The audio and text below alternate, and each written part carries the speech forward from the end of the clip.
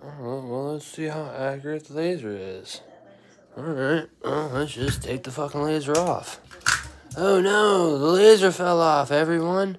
What will I ever do? Snap it right back on. Oh no, it's exactly the same.